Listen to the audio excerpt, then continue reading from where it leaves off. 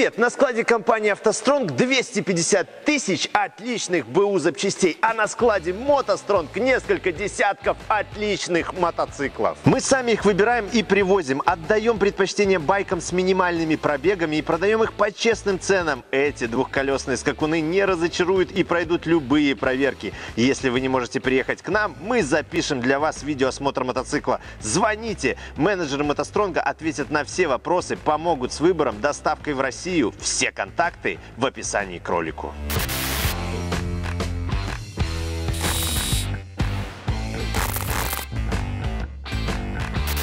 Ну а прямо сейчас мы разберем первый V8 на нашем канале. Итак, встречаем Mercedes M119.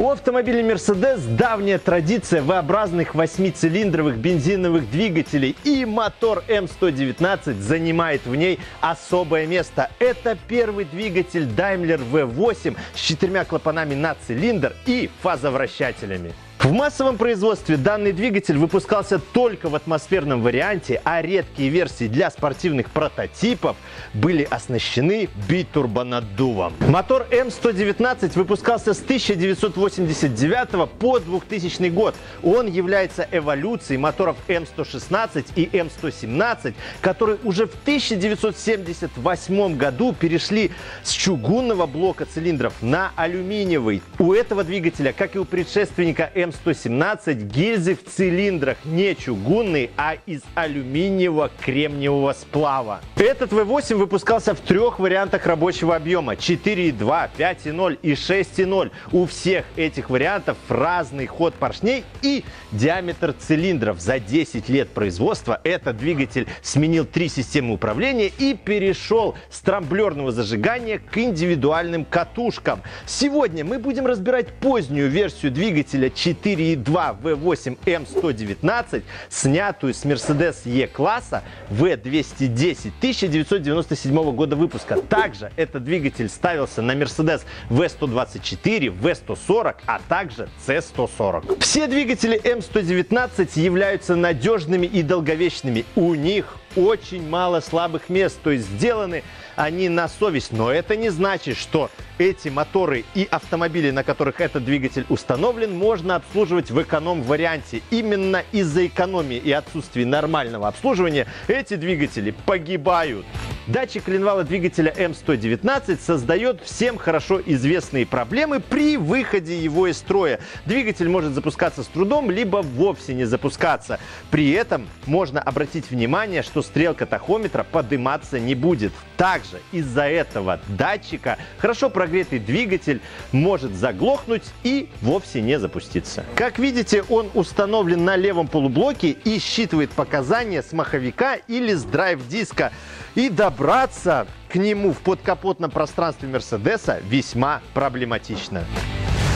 Расходомер воздуха двигателя М119, который установлен именно на Е-классе В210, находится над дроссельной заслонкой. Расходомеры воздуха пользуются большим спросом на разборках, поэтому мы расскажем о нем заочно, потому что его уже купили. Расходомеры воздуха на двигателях М119 с горячей платиновой нитью, температура которой постоянно поддерживается на уровне 180 градусов. Нить очень чувствительна к загрязнениям и имеет ограниченный ресурс. Напомним, что после остановки прогретого двигателя нить накаляется для удаления загрязнений. Исправный расходомер воздуха на двигателе М119 должен выдавать показания на холостом ходу расхода воздуха 16-20 кг час. Неисправный расходомер является причиной неустойчивой работы двигателя, вялого отклика на педаль акселератора и увеличения расхода топлива. В ряде случаев ДМРВ можно почистить специальным средством, но лучше его заменить на заведомо исправный, новый, либо БУ. БУ, естественно, в автостронге. Буквально на всех моторах М119 пришлось поменять жгут электропроводки, который проложен по двигателю. Из-за высоких температур под капотом изоляция рассыхается и осыпается, а это приводит к ряду сбоев, которые затрагивают и ДМРВ, и форсунки, и катушки зажигания, а также датчики. При такой проблеме двигатель будет работать с перебоями, с пропусками зажигания и с потерей мощности. Моторную косу электропроводки либо перекладывают, используя новые провода, либо меняют на новую. Хотя вот эта вот бэушная выглядит у нас очень свежо. Позвоните в автостронг. Дроссельная заслонка двигателя М119, которой также у нас нету, тоже купили, соединена с педалью акселератора тросом. Но в ее конструкции есть сервопривод, который управляет холостым ходом и служит для реализации функций круиз-контроля и антипробуксовки. Этот дроссель выходит из строя из-за осыпания изоляции в его корпусе на участке от электроразъема к печатной плате. Проблема решается перепайкой с новыми проводами. Со временем начинает сбоить электромотор мотор, в его коллекторе образуется пыль с угольных щеток. Сопротивление моторчика и потребляемый ток увеличивается, ЭБУ фиксирует ошибку. Для решения этой проблемы надо добраться до коллектора электромоторчика, очистить там пыль и заменить угольные щетки для возвращения его в нормальное рабочее состояние. Еще в этом дросселе изнашиваются дорожки потенциометра и возникает обрыв в электромагнитной муфте, которая соединяет сервопривод и ось заслонки. Эти детали не восстанавливаются, их надо менять. Но новыми они не продаются, их можно найти только у умельцев, которые разбирают эти заслонки. Ну а честь разобрать первый V8 на нашем канале предоставляется еще одному лысому члену нашей команды. Как говорится, один лысый хорошо, а два лучше. Встречаем Серега! И мы начинаем нашу разборочку.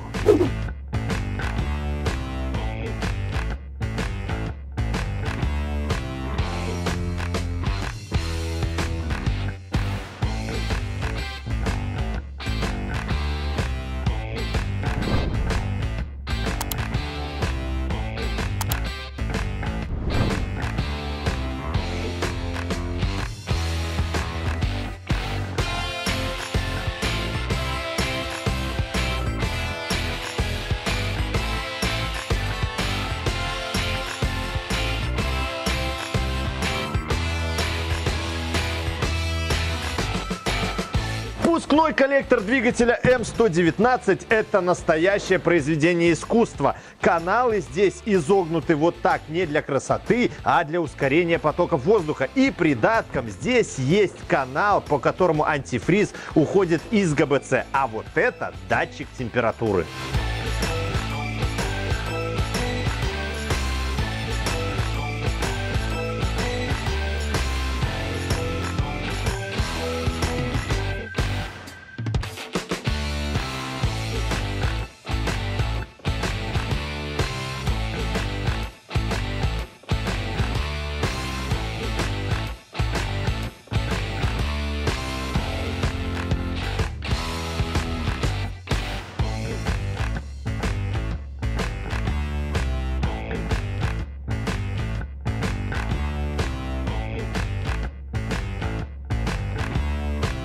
Фазовращатели двигателя М119 расположены на впускных распредвалах. Благодаря им распредвалы отклоняются от коленвала в диапазоне 20 градусов. При скорости работы двигателя 2000 оборотов в минуту и после 4700 распредвалы опаздывают, а вот в среднем диапазоне оборотов распредвалы опережают коленвал. Фазовращатели имеют фирменную мерседесовскую конструкцию с электромагнитом внутри, а фирменная проблема этих фазовращателей – это течь масла по электрическому разъему магнита. Также масло может протекать из-за потери герметичности прокладки, которая находится между половинками фазовращателя. Эта прокладка отдельно не продается, а чтобы устранить течь, надо разбирать фазовращатель, сбивая вот эти заклепки и нанести на старую прокладку гермет. Течь масла никак не влияет на работу фазовращателей.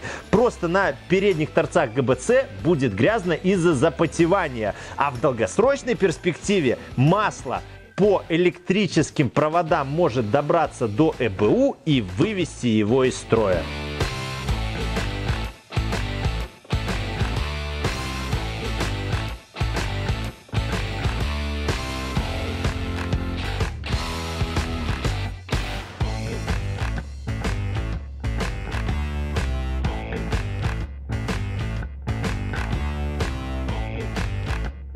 На заводе в большинстве версий двигателей М119 установлены вот такие переходники с каналами подачи масла гидрокомпенсатором.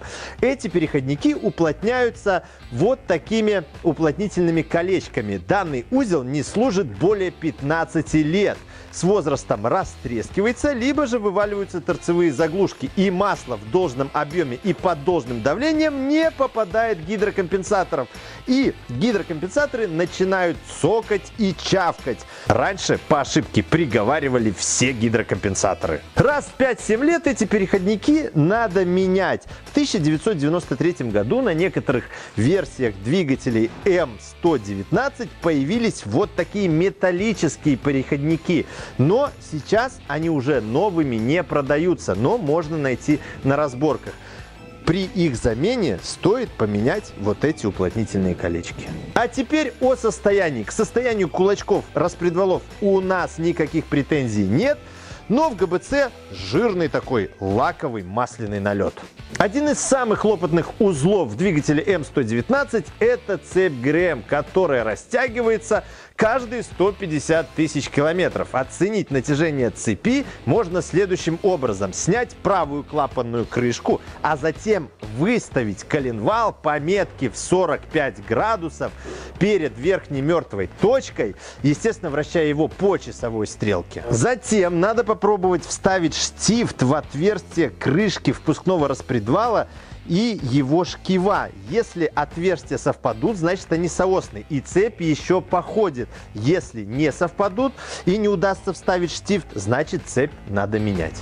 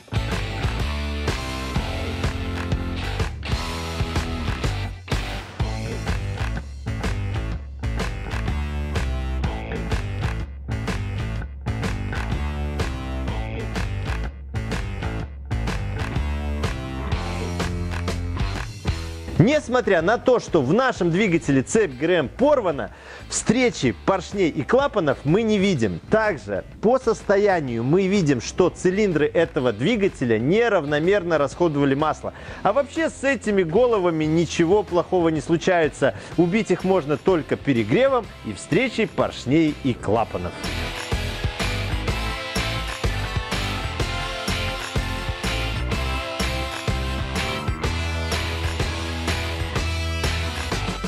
А теперь продолжим про цепь ГРМ. При эксплуатации двигателя М119 сильно растянутой цепью ГРМ ее биение приведет к ускоренному износу направляющих. А мы знаем, чем глубже канавки на направляющих, тем сильнее рассинхронизация валов. Сильно бьющая цепь ГРМ может разрушить межвальные башмаки и перескочить на пару зубьев. А это приведет встречи поршней и клапанов в нескольких цилиндрах. С заменой цепи ГРМ лучше не затягивать. Если направляющие не изношены, то можно обойтись просто заменой цепи. В этом случае она меняется протяжкой. Для этого надо расслабить распредвалы, а затем закрепить их по меткам. Замена цепи протяжкой это действительно действенный способ, потому что, чтобы снять вот эту крышку для замены цепи ГРМ, надо снять поддон целиком.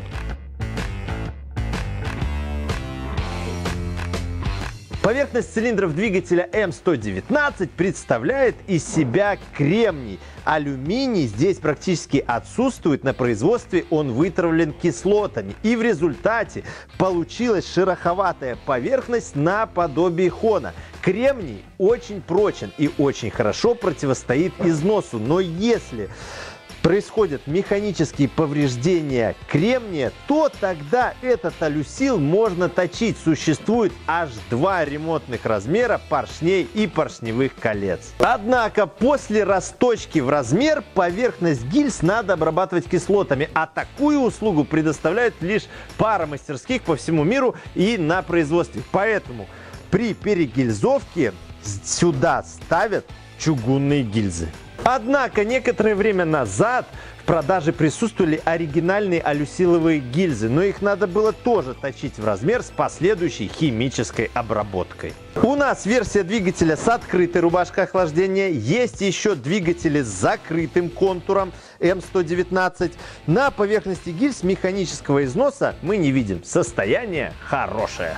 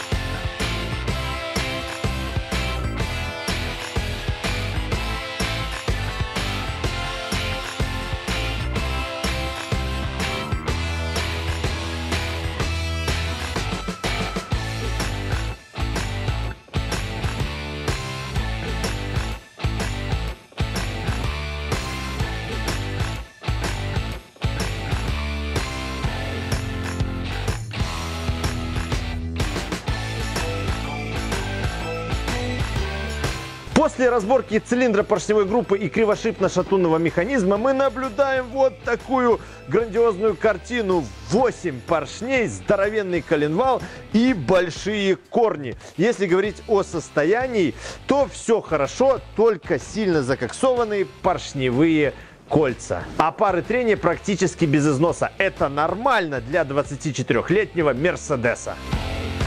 Состояние блока цилиндров и поверхности цилиндров отличные. Конечно, подлинное состояние этого блока можно оценить нутромером. Но если бы не залегшие маслосъемные кольца, то этот мотор бы еще ходил четверть века. Разборка закончена и сегодня мы разобрали вот такой вот мощный олдскульный мерседесовский мотор.